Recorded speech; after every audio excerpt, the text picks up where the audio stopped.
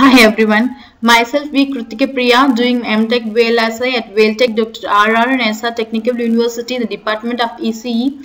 My project title goes on like design of an all digital phase lock loop as a frequency synthesizer using self-healing circuit and I am being guided by L. Jiban Priya Devi, ME Assistant Professor, School of Electrical Engineering. My a presentation goes on with the content as abstract, existing system and its drawback, proposed system, block diagram, simulation results and the software required.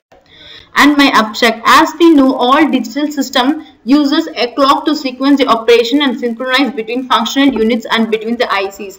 The PLL which I am going to design in my project is an all digital phase lock loop simply known as ADPLL which consists of a digital control oscillator DCO and a DCO corrector signal shaping digital filters are being presented and this is the existing system. A phase lock loop is widely employed in wireline and wireless communication. As we know, the existing system is an analog system which uses a VCO for the voltage control operation and as we know this particular VCO cannot oscillate in all range of frequencies and the frequency range which has been provided by the VCO is also less. For a frequency, uh, frequ sorry, for a prescaler, the undesired leakage current may limit its frequency range or alter the original state of the floating nodes to have a malfunction. This is a schematic design of the existing system. As I said, this is an analog system. I have taken the charge pump circuit for schematic result and I have been done with the Proteus software. I'll be expanding with the waveform. Now the simulation result of the previously shown slide has been done over here. The blue color wave is the input wave which is a perfect square wave and the yellow color wave is the output wave. As I say, I have used a self-healing technique which is which is which will be overcoming the error that has been occurring in the circuit. This yellow, this particular yellow color wave, wave indicate that the output from the PL uh, from the charge pump has some sort of leakages which will be overcome in the self-healing technique of a digital. On with my next slide. As is an existing system drawback, as I said, there will be leakage current and a poor device matching.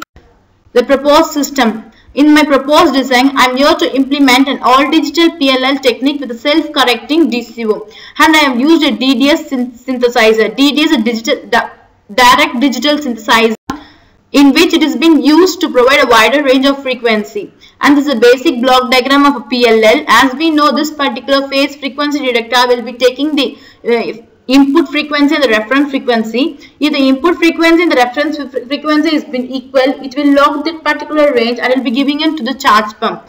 And in which the charge pump or the low pass filter will be taking some of the errors in the, in the waveform and it will be giving to the voltage control oscillator which will be controlling the voltage to some particular area and it will be giving to the divide by n counter. The divide by n counter is a 1 which stop the output to a pulse of 0 at the nth clock pulse and the output from the divide by n counter has been given back to the PFD. I am moving on with my this is a proposed system block diagram. As I said, delay detector, since I have I am using an all digital phase lock loop which consists of all the block diagram digital, I have taken a delay detector and delay detector takes the input of a clock input and from a delay detector will be obtaining an output which is given to a signal shaping circuit in order to check whether there is an error in the output uh, output wave or not and that particular output from the signal shaping circuit is being given to the DCO and from the DCO to the DCO corrector and then to the divide by n counter and back to the delay detector.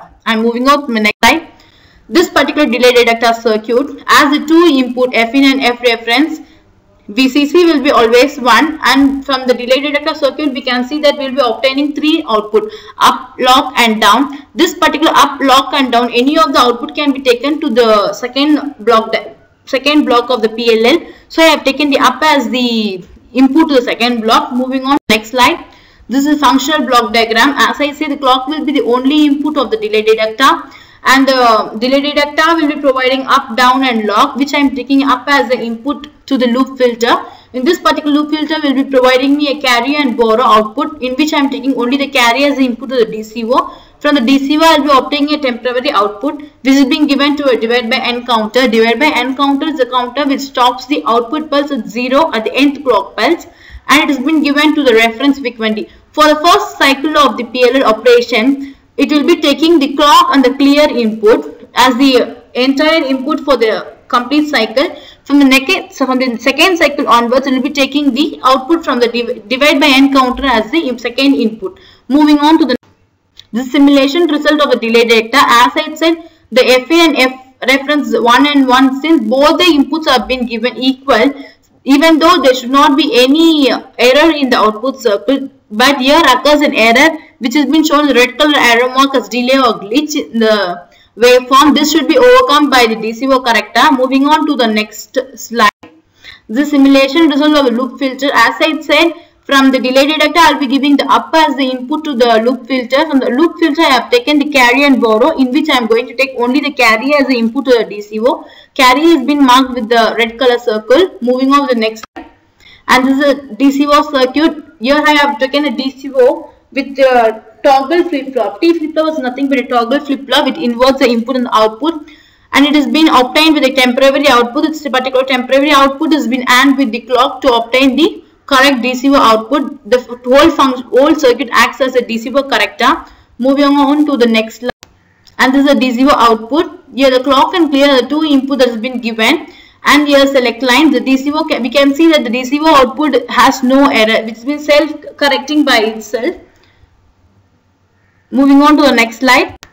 This is the final simulation result. You can see that the clock and the clear are the input and as I said I will be providing a wider range of frequency. In order to provide a wider range of frequency I am taking a select lines in the divide by n counter section for the different ranges of frequency. When there is a change in the variation of the bits to be given there may be a change in the time period. When the time period is calculated according to a frequency we will be obtaining a 2.4 gigahertz to 5 gigahertz of frequency wave in the output. Moving on to the next slide, I will be showing in the next slide. And we can see the first the first bit line is being given over here. We can see in the reference clock the time period difference and when the next set of the bit frequency is being given, the time period varies. When we calculate the time period as we do in the ModelSim, we can find that there, there is a 5 gigahertz of frequency that has been operated with a wide range of frequency. The clock frequency is like 10 gigahertz. Moving on to the proposed system advantage. As I said, the, PLL which I have been designing consists of an all digital PLL, which is a completely digital system. As we know, the digital system has a wider range of application. When there is a no leakage in digital system, optic, uh, automatically there will be appropriate matching the system and uh, the wider range of frequencies also been provided in the digital system as I showed in the waveform and the comparison of the existing and the proposed system has been given tabulated. The existing system there was a leakage current, the proposed system there is no leakage current. And the poor device matching since there is a leakage current there will be poor device matching. Whatever circuit we design there will be there there may be occurring some leakage in the circuit. When there is no leakage in the circuit there will appropriate matching. It can be used in wider range of frequency. Frequency ranges is very less in the analog system whereas in the uh, digital system, the wide range of frequency of 5 gigahertz is being constructed over there. As uh, at last, I conclude my project like when there is say system like an uh, uh, digital when compared to the analog. Digital has a wider range of application. And as we know the PLL has a wider range of application the wired and wireless communication. The project which I have done has been given a self-healing technique. There is a no need of complicated technique over the self-healing is that it automatically detects the error in the complete set of circuitry and it will be overcoming overcoming their error so that there won't be any disruption in the communication line. I assure that this this particular system has a wider range of application can be used in any type of application as we know PLL has. I'm moving on to the next and the software that I have been used for the digital system is a ModelSim 6.3 version and for the analog circuitry the schematic design I have shown is a Proteus software for analog Moving on to my next slide. These are the reference papers that I have been uh, referred just to go through what are the important things that can be taken over to in order to make up the project. These are my reference papers. As I said, 13 reference paper I, I have been concluded with the project. With these reference papers, this project has been very much overcome and it has been done successfully. I thank all my uh, supportings who have been done and especially my guide who has been, who has assisted for me to do this project successfully and all my college members and my parents and everyone friends who has rendered their work towards my my successful successness of this project. I thank everyone. Thank you very much.